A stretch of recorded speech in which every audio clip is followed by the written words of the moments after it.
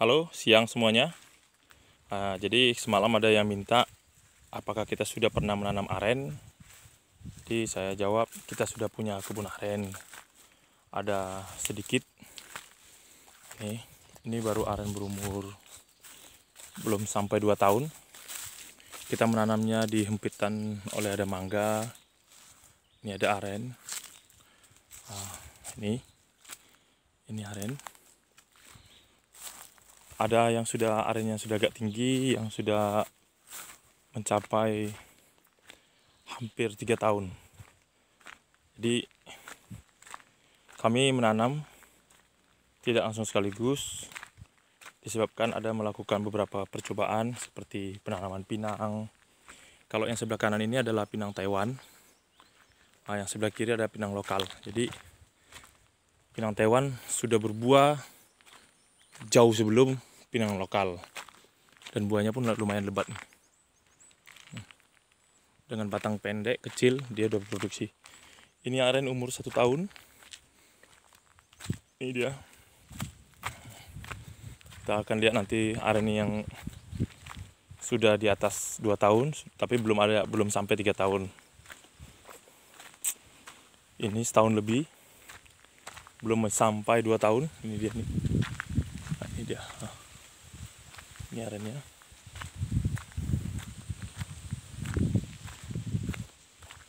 ini yang sudah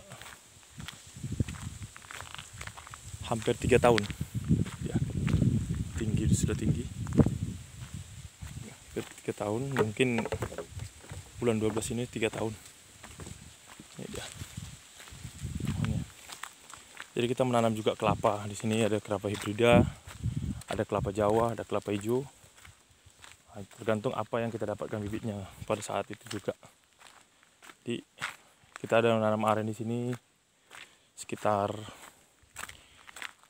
500 batang lebih aren. Tapi yang akan kita ambil ini hanya yang dekat-dekat saja yang untuk menjadi sampel untuk mengajak kepada semua kawan-kawan untuk menanam aren. Karena kentungan aren itu per pokoknya itu bisa mencapai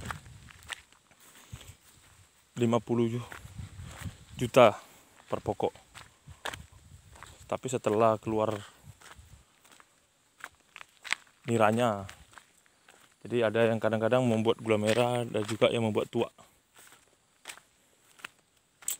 Ini arennya.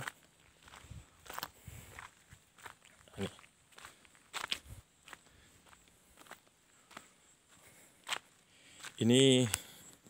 Berumur 2 tahunan ini tiga tahunan. Nih tiga tahun. Sudah tinggi.